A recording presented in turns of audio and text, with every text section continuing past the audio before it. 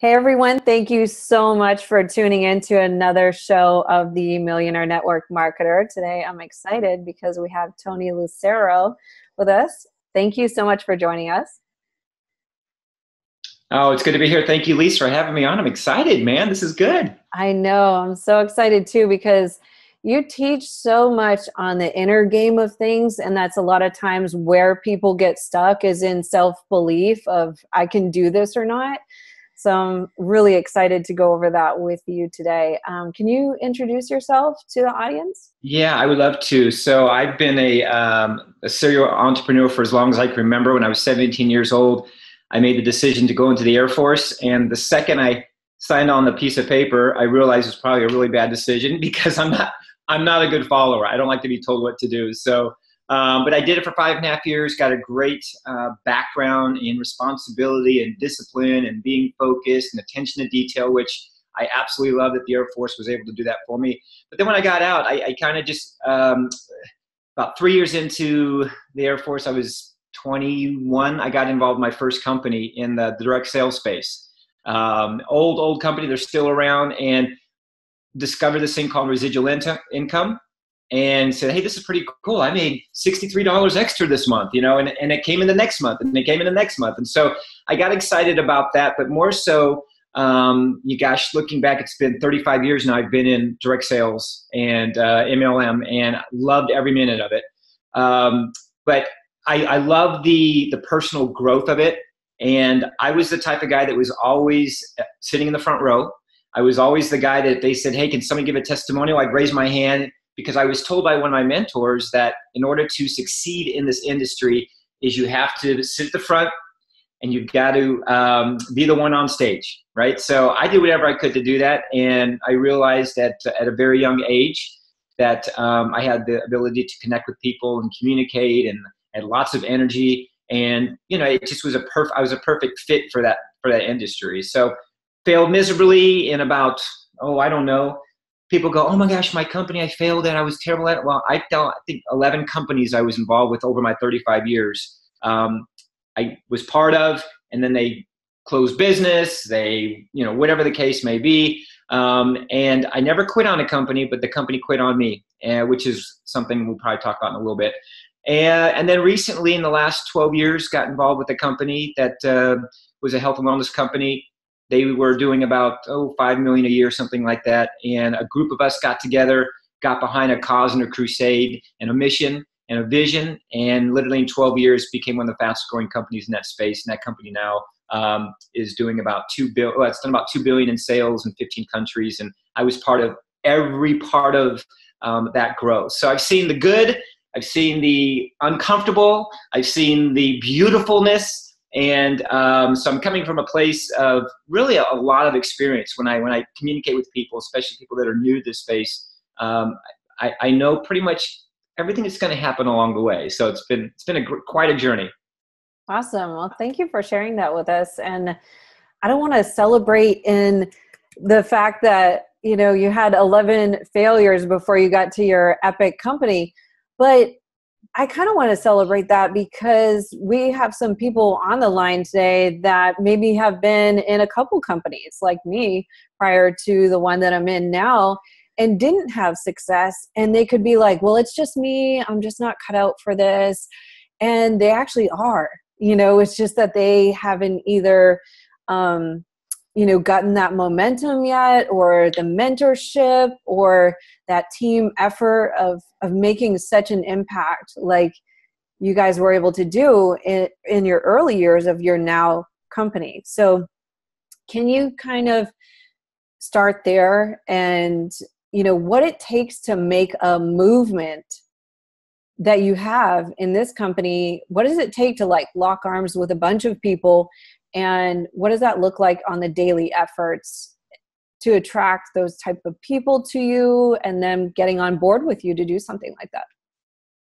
Yeah i mean for me i, I figured out that um, you know this you guys this business a lot of people get involved in a, a, home business and they get involved in this industry because you know obviously they see the lifestyle. They see what's possible. You know they hear about people having this thing called freedom and you know being their own boss which which will happen Um, but you have to put yourself on a three to five year plan. I, am just going to be really real. A lot of people go, well, it didn't happen for me this month, so therefore it doesn't work.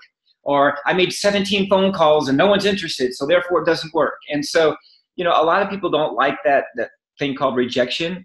Um, I just figured out at a very young age, I grew up in, a, in an environment, I had a stepfather that told me every day how miserable I was as a human being and how I'd never amount to anything and how crazy I was and how stupid I was. Don't even try, you're going to fail. So I came from an environment that I already heard all that.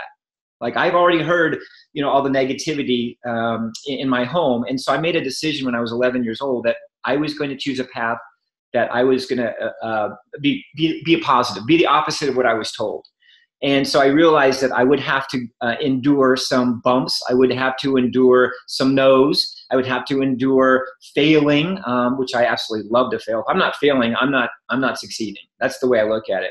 So at a very young age, I embraced the fact that I didn't know what I didn't know. I was just going to suit up and show up. I was going to be dumb enough to listen and smart enough to follow through. And I would listen to my mentors, right? I would listen to the people that I trusted. If they said, Tony, do this, I would do that. Um, and many times they would say, when you do this, though, this potentially can happen. You might get a no. You might get your best friend who you grew up with who's going to tell you you're crazy. What are you doing? Those things don't work. And I and I was prepared ahead of time, knowing that my best friends would probably tell me that I was crazy. So I came from a place where um, I knew that I was going to have to become bulletproof in a sense. I knew that I was going to have to. It wasn't going to be very, very easy. Business is not easy not just this business, but business in general is not easy. Raising a family is not easy. You know, planning a vacation is not easy. There's a lot of things that aren't easy. So why should this be any different? So I realized I was going to make mistakes, but I also wanted to make sure that I surrounded myself with people that were successful that did have a degree of you know the, the attitude i wanted to be around the positivity i wanted to be around the culture i wanted to be around um, the, the learning environment that i wanted to re- be around. And when i was around those people i was like a sponge. Like i would have my journal out or i would ask questions. People got oh my gosh here comes tony. He's going to ask another question. I was always asking questions about this and that. Not the um, you know that not the typical questions about like the comp plan and all that stuff. You guys that drives me nuts. But questions about how do I become better as a person so that I can attract people to my business? That I can become a better speaker, a better a teacher, a better leader.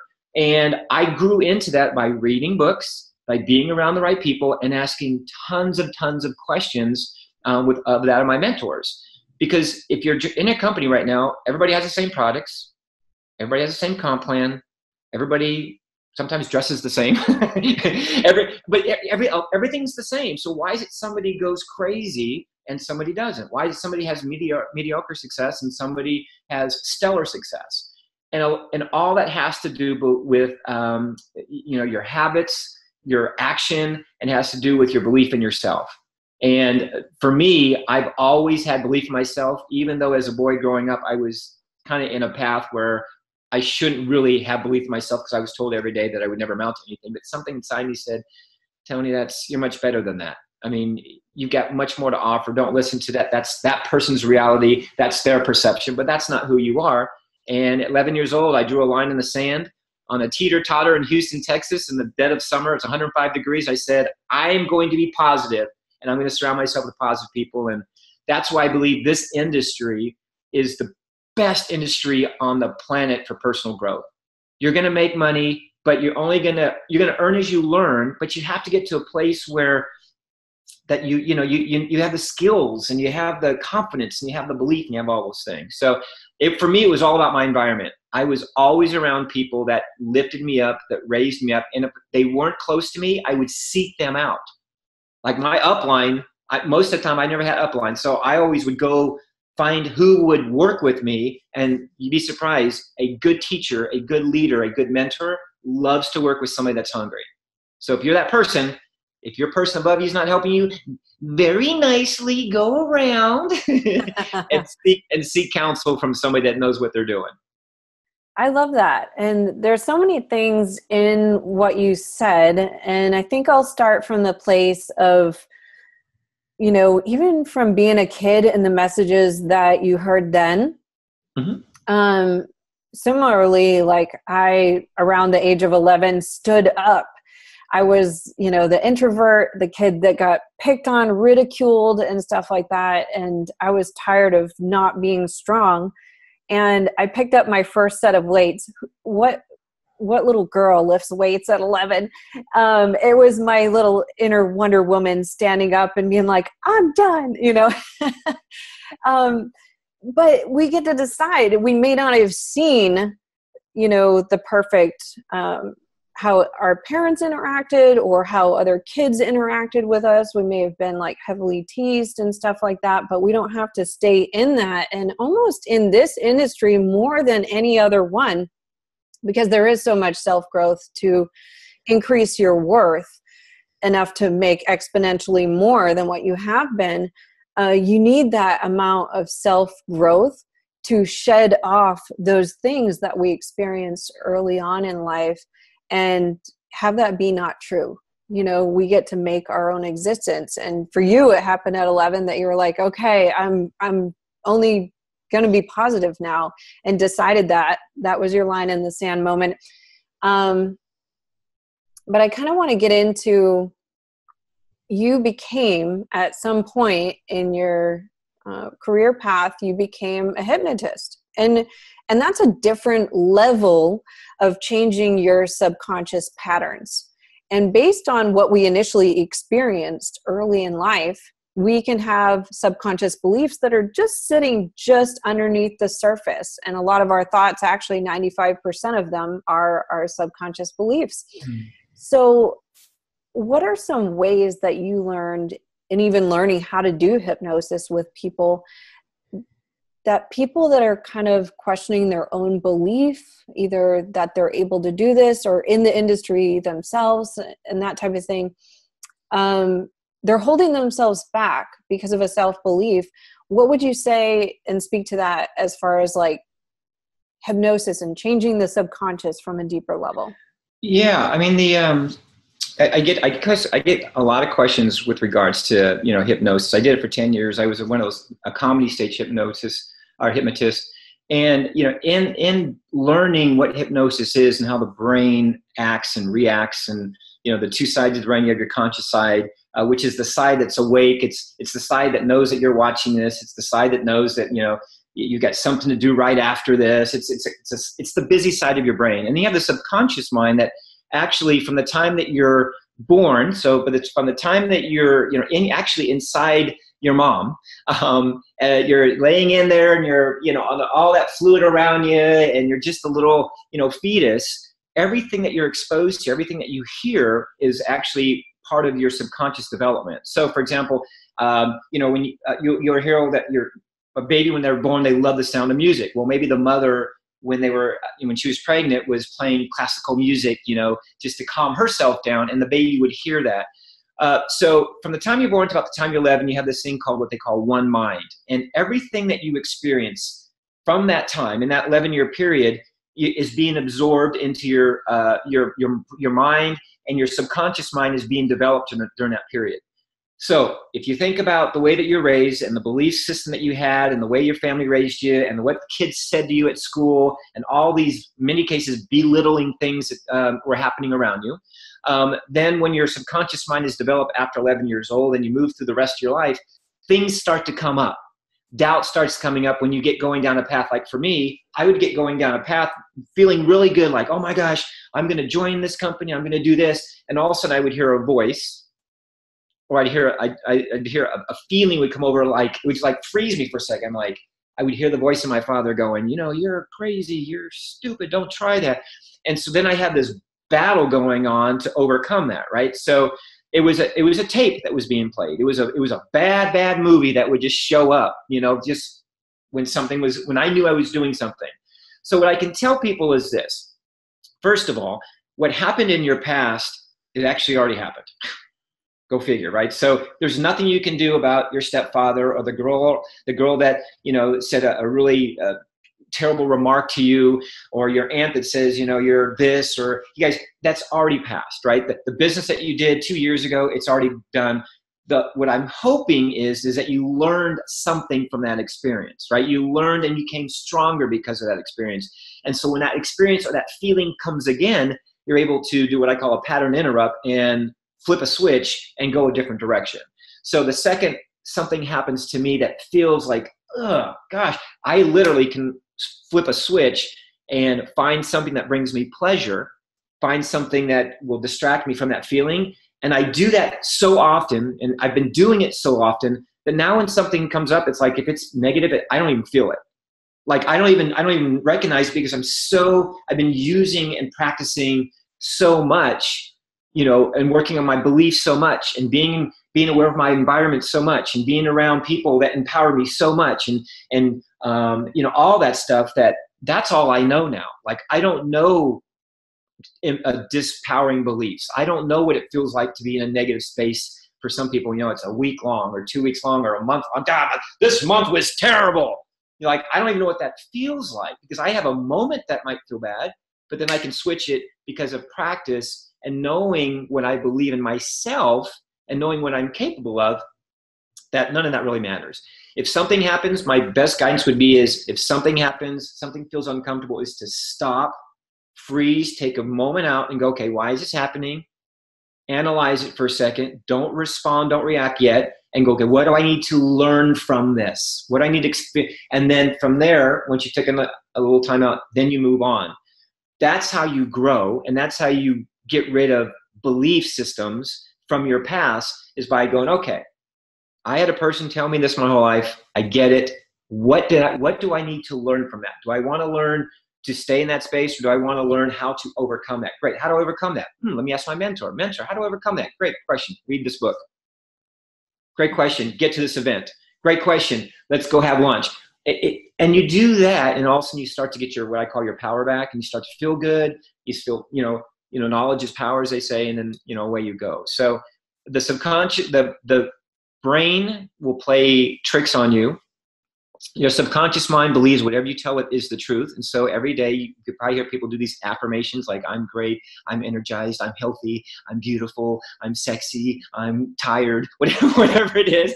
Whatever you're telling yourself, your subconscious mind believes that is the truth. So you got to be very aware of what you're seeing, what you're feeling, what you're experiencing all around you. And just once you're aware of it, if you don't like it, change it. Yeah, I agree with you because um, the subconscious actually come to a point where you become. Yeah. Yeah. The subconscious mind is so powerful that some of those old messages might replay, actually. So even if you are affirming, that mm-hmm. the the earlier subconscious belief, and typically it's shaped from ages zero to five years old. So it's from a time that we don't even remember where we got that thought so, how a lot of people ask, how do I get past that? Step one is creating awareness of those thoughts. So, it's more listening, like what's actually being said. So, say if you go to make that new sales call and there's this like fear factor of like, I don't want to dial, you know, they're going to tell me no. Just kind of like listen to those, just ask yourself, like, is that true? So even if it's something negative about you that's being said, ask, is that true? You know, and then you're going to have your conscious mind can kind of step in and say, well, no, I'm a good person, you know, and, and answer to that. So that was one thing that I've learned about shifting, you know, and actually creating change. So thank you for yeah. touching on that so much on the subconscious and like where that initiates from and just helping people understand that even if it's negative thoughts that you're thinking right now and you're actually attracting negative people onto your team and it's because your subconscious attracts to you what it believes is true that's kind of like the law of attraction um, you can shift that. And then once you are shifting your thoughts it will change who attracts to you who's on your team and and how they're showing up you know yeah, you're always going to attract into your life and your team. Any anybody in life where you're at right now, that's that's those are the types of people that are going to show up into your business. Those are the type of people who are going to show up into your life. If you're single, you're going to have a single friends. The second you get a boyfriend or a girlfriend, now all your friends are couples. And the second you get married, now all your friends are you know you, you're, wherever you're at in your life, that's what you're going to attract. So what I love about direct sales, what I love about this industry is if you're on a path of growth, as you're growing, you're going to probably outgrow some of your friends. I've outgrown pretty much all of my friends, and I still love them. They still love me. They wish me well, but the reality is I'm, I'm just moving on. But as I kept growing, my income started growing. My, the quality of people coming into my business started being different. They weren't negative because I wasn't negative. They were they were in shape because I was in shape. You know, so it's it's it's really weird how you attract who you are at that moment that you are um, at that time. I and agree with you. When you, you know? grow, when you start growing, you make that decision. It's like it is crazy how fast the universe goes. Oh wow, look at Tony. Okay, here I want you to meet this guy. And now you're at a coffee shop, and oh, this guy walks up to you and goes, "Oh man, gosh!" And next thing you know, you've got a best friend that you feel like you've known forever. That's how fast this works. So it's beautiful when it happens.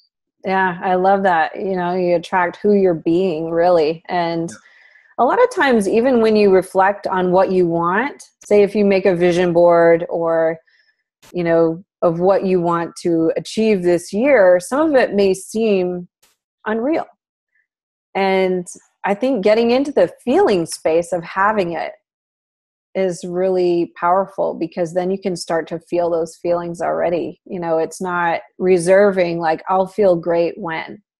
Yeah yeah, that's that's good. This, is a the business that we're in is a heart business. I, I, I, say we're in the serving business, and in fact, I was just having this conversation with my sister. My sister's brand new into this into this industry, and you know she's had some stumbling blocks, as we all have. Gosh, I've stumbled so many times. Lisa, I know you have too.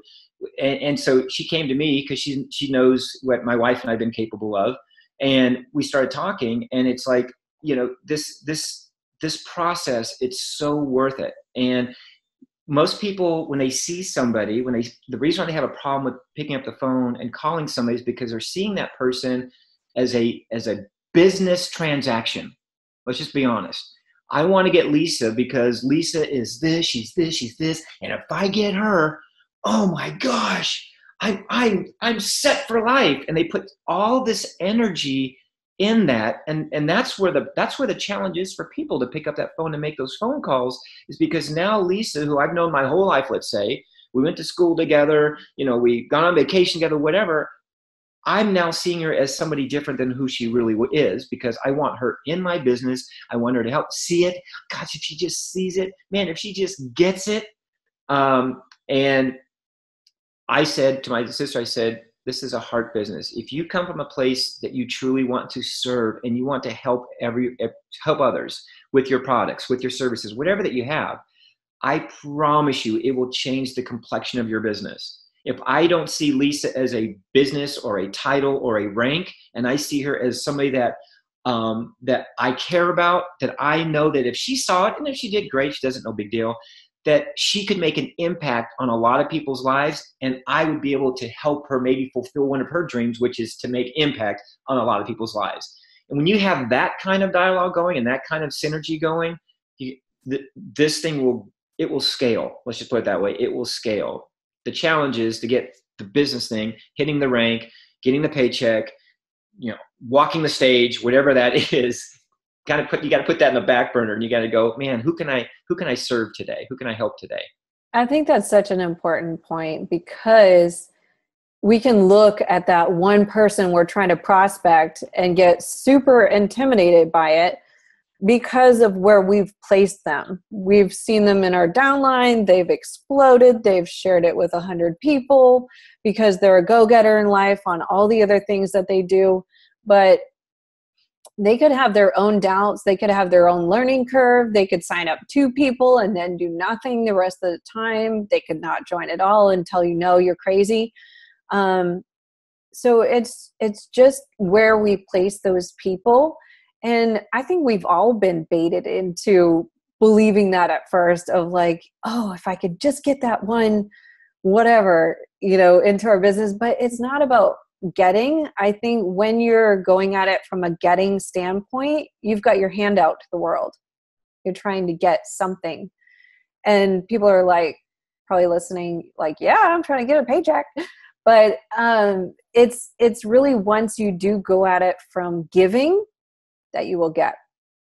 Yeah. I i believe it.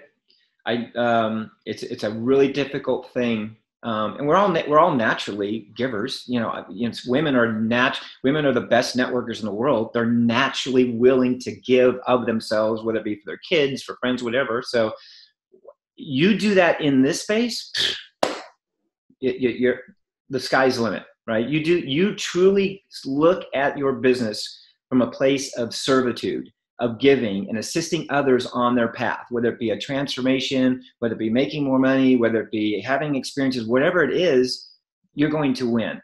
It's just very difficult to stay in that space. It really is because the next promotion from the company is coming, like, oh my God, I want to get that. and now all of a sudden that heart goes away because now the brain's going, dude, you deserve this, Tony. Come on, let's go. Uh, let's go charge the hill. Let's get everybody, you know? So yeah, it's fun. It, that's that's what makes this so wonderful. Is you're you're going to learn so much about yourself. You're going to grow so much, and you're going to handle so much, and um, you'll you'll surprise yourself how much uh, how much more capacity you have to to really like grow and do do a lot.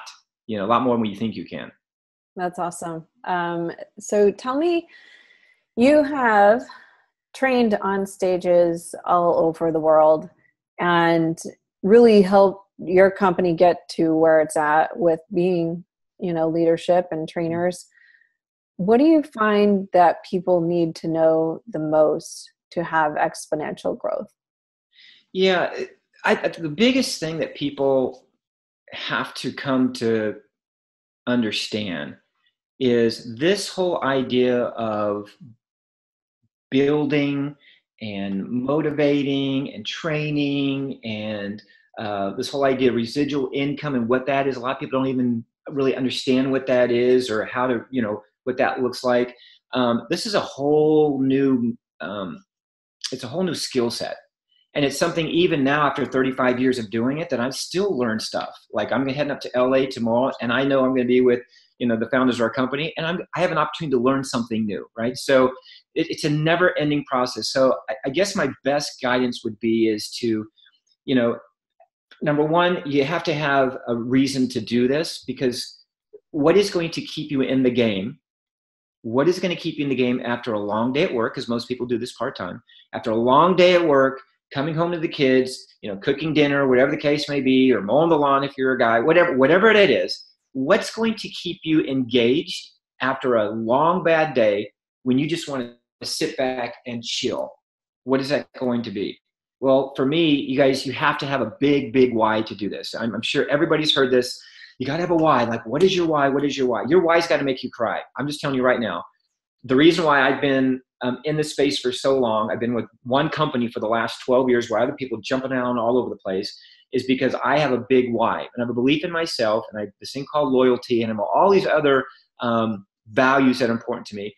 But my why is so big that if 10,000 people lined up in a straight line and they all told me, no, that's crazy. That's a scam. That's not going to work. What's wrong with you? Go get a job. You know, if 10,000, 100,000 people came to me and said that, I would be like, okay, whatever. You don't know why I'm doing this. I'm doing this because I have a mom. I have, I, I have my kids. Whatever that is for you, it cannot be money. You guys, you cannot do this business for money. If you do, you're going to fail miserably. And I don't want to hurt anybody's feelings, but I mean, here's, here's the reality of it. If you join for money and you get in and you're excited and it takes you two weeks, two weeks to understand what the heck you're doing, and then maybe you talk to a few people and people aren't interested, and then three weeks goes by and you haven't made any money yet, which is why you joined, your whole psychology shifts and you start to go, maybe this thing doesn't work. Maybe this is not for me. I don't know and you start doubting yourself, right? So you guys, you have to have a bigger, bigger why than money. Now, if you find a big enough why, um, and get behind that, and don't let anybody tell you what's not possible. I promise you, the money will come because the growth's going to come. The people are going to come. You're going to attract people that are going to come to your business that have a, probably a bigger why than you do. If you don't have a why, no one on your team is going to have one. I can assure you. So you be the example, you lead from the front. What is your why for doing this? And you make that you you just make that part of your DNA, um, and that will help you long, long term. Is doing is having that. What's the way to emotionally connect to that why? Like some people may initially think it's money, because they want to replace their job. They're like, hey, I want to stay at home or whatever that is. So, you know, they may be listening, being like, well, yeah, I want money. Um, but the the stronger why, like how to tap into that emotion. What mm-hmm. do you mm-hmm. advise people? Yeah, so so you have layers of an onion, right? So you have the, the top layer, right? And as you get down to the layers, you peel back, then you start to cry as you start to really get to the, the core of that onion. Same thing with this. So when somebody goes, Well, I need money because I, you know, I hate my job. Perfect. Let's talk about why you hate your job. Well, I hate my job because of this. I don't like what I'm doing. I'm not challenged. I'm not doing the perfect. Okay, now we're getting somewhere. Now we're peeling back the layer. What else about your job you're like? Well, I don't like is I never get to spend time with my family. Oh, here we go. I like is I'm never home. Oh, I'm I'm being a terrible mother because I'm unable to, you know, be home with my kids or pick my kids up from school. So all these other layers of that onion gets down to the real reason why they want to make the money and that's because they want to have they want to be a mom. They want to stay home. They want to be at every game. They want so you have to get down to the core of that. Once you get down to the core of that the real reason the real reason because i, I feel like i'm a terrible parent. I'm just be real. I feel i was doing as a hypnotist i was on the road 250 days a year. I was missing my son's soccer games baseball games basketball all of his stuff. And i got to a point where i just woke up and i go what am i doing and then I went out, started looking for a company. And the reason why I found that company wasn't because I wanted to make money, it was because I wanted to make sure that I could build something that would allow me to earn some income, but I would build something that would allow me to spend and look at my son's face every day. Not be on the road, but every day, if I wanted to see my son's face, I could see that. And that feeling was my why is to look at my son and go, Yes, I'll take you to your game. Yes, I don't have to watch your game through Skype anymore. You know? So you have to find out what that is. Yes, we all want money. And yes, the money will come. Please don't join this business because you want to pay off your student loans. Please, please, please don't do this. There's got to be something else. There's a family member, there's a sick person, there's a deeper cause. Maybe you want to make earn income so you can start your own foundation to help battered women. I don't know what it is. You've got to find out what that is. And when you do, it's like you'll sit back and go, oh my gosh, that's it. That's why I'm going to work another two hours when I get home from work tonight. That's why I'm going to go to that event on Saturday, even though it is the day we're supposed to, you know, rearrange my son's sock drawer, you know, whatever, right? we make excuses for everything, but you'll start doing things like that where you feel like you're sacrificing, but you're not because you know what the end in mind is. So you got to get down there and take some time. You got to peel back. Well, why do I want to leave my job? My boss is terrible. Okay, that's another. That's a good reason. What else? Well, because I'm actually, I got called in to work on Sunday. Well, that's another reason. So what else? Well, because I never get to, oh, let's talk about that. You never get to do what? Oh, your kids? Let's talk about that. And then now you're getting down to the core of what's really matters. And in that space, you're going to feel this new energy to read the books, to, to show up, to be present, to do all those things because you want to get better so you can leave your situation faster to be able to do the thing that you really, really want to do. I think there's two great points to that. And one is that's what makes you bulletproof.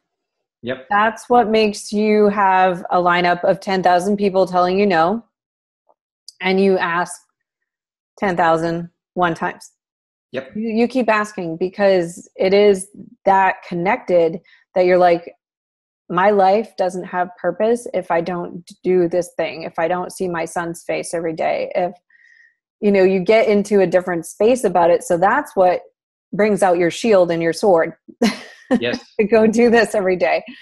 Um, and then the other part of that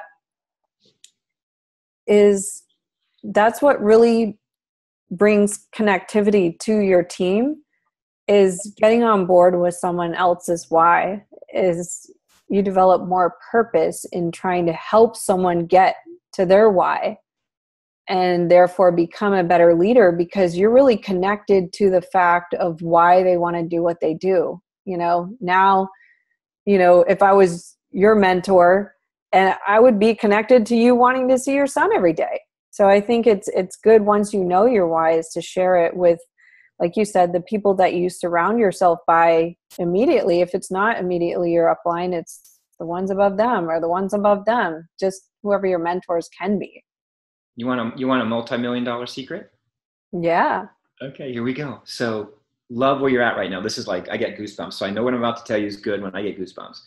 Um, one of the things that my wife and I start incorporating because culture is really big for us. So we have our team, and we we made our decision when we started 12 years ago that we were going to create a culture that people just want to be part of. Right? A lot of people will come into this industry, they won't make the money that everybody else is, but because of the culture being so strong, they love it.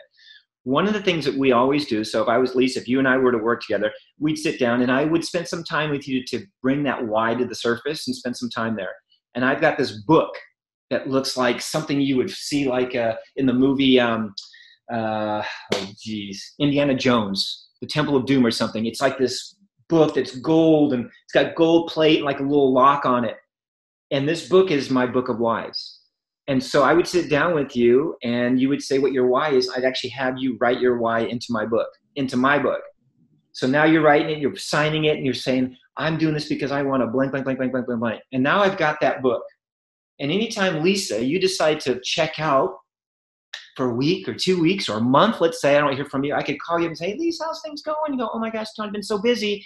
And you know what? I was just sitting here and I'm sitting with my book and I'm just feeling really empowered. And I opened up my book of whys and I saw your thing that you wanted to accomplish and I want to get you back engaged again. And then you're going to get back engaged again. And what I love about for me as a leader, if I'm ever having a bad moment, if I'm reading this whole book of people's whys, and all the, the good that I have to do. Like I got, oh my God, I got 150 people in this book. I can, I got stuff. I feel like Santa Claus. I got to go, you know, deliver some gifts and call these people and say, come on, Cindy, come on, Mark, you said you were going and it keeps me engaged in my business. Like I'm more engaged now after 35 years in this space than I've ever been at any other time because I get, I get, I get it. And I know that I have the ability to help people along their path but I got to do a little bit of stuff and I got to do a little fact finding and connecting. Big thing is you got to connect with people. And this book of why is a great way to do that. I think that's great because now it gives you personal responsibility over helping that person succeed and it's no longer about you.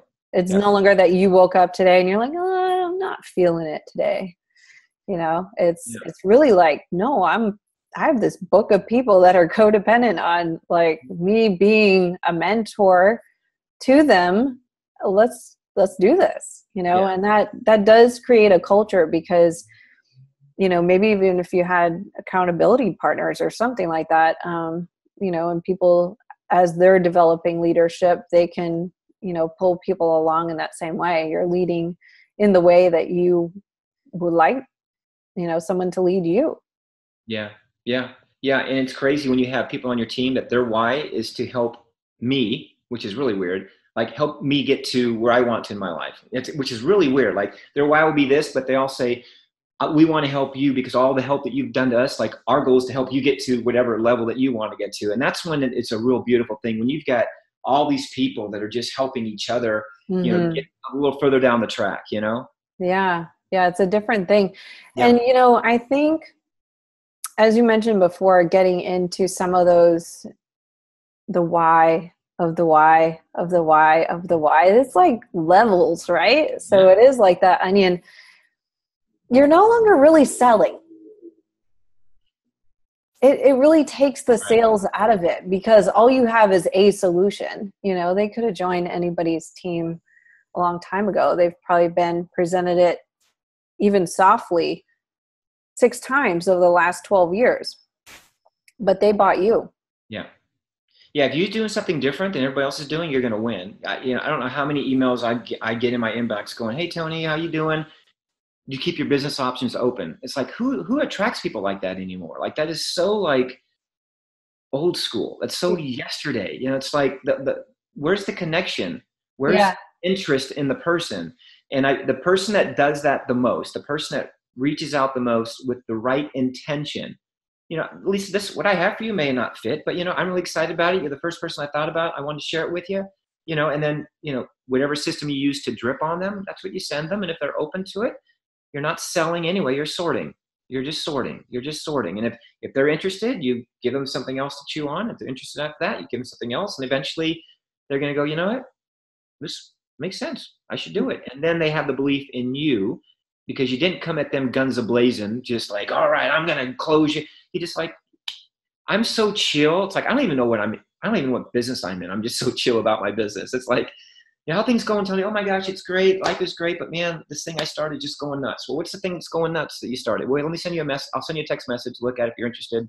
You know, we'll, we'll connect. I mean, that's, that's the extent of my pitch. I'm not attached to, and I have no expectation, which uh, this is probably something we can probably talk about real quick is I don't expect anything. If I send somebody a text or however you expose your business to people, however you do that, whether it's face to face, do through a video, through a conference, however you do that, I have zero, zero expectation that Lisa Rooney is going to be interested.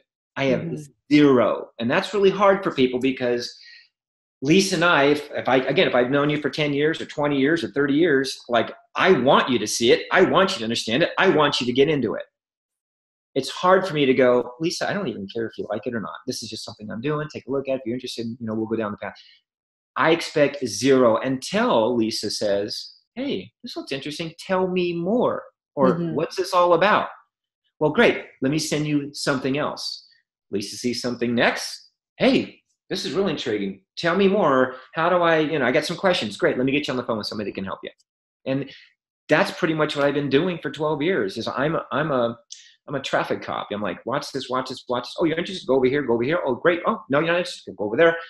That's what I've been doing for 12 years and without any expectation. Now, when you're in and you've made that decision, then you and I are besties. Now mm-hmm. everything changes, right? Now I'm going to step in as a leader or as your mentor or your guide, and I'm going to assist you on your path and do all this stuff, which is the whys and the, get you started right and all that stuff you know and yeah i think um, you touched on some good points there. I like the saying that you don't have a prospect you have a suspect. Yep. so it's you know people aren't responding to spam anymore. You know spam type of emails and and contacts and stuff like that like they want people to know them enough of like asking them like hey i thought of you for something. Did you want to take a look or you know maybe even like i'm trying this product can you let me know what you think of it? Just mm-hmm.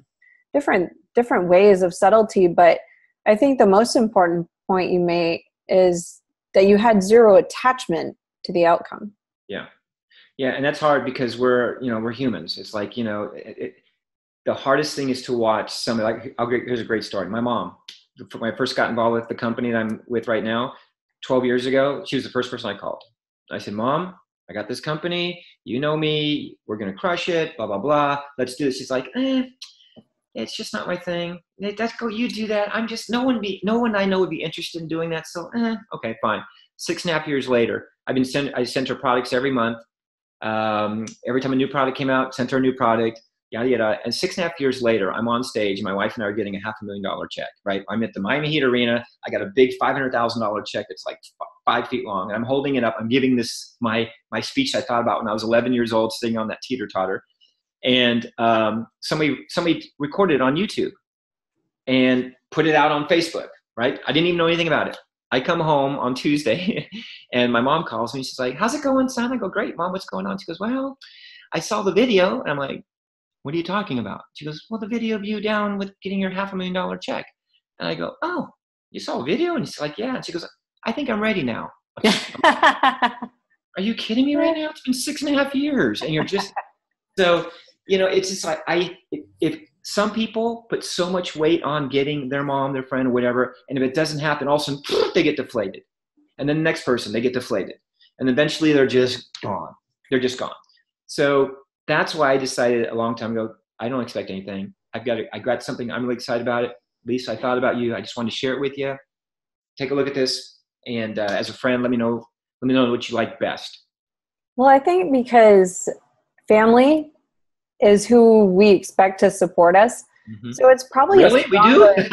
it's probably a stronger no sometimes to people like they should be the ones to they should be yeah. to join me they should be the ones that are you know being my best cheerleader or whatever like there's so much more expectation i think and then also the flip side of that is when they do say no the dialogue changes to like not even my family and friends want this you know yep. like what am I going to do now? I'm not going to talk to strangers. They're going to be the ones that say no because my own family, you know, now Yeah. I don't get invited to any events because they think I'm going to pitch them. That it's just the funny, the internal dialogue that can result from a few people saying no, but it's just not their time.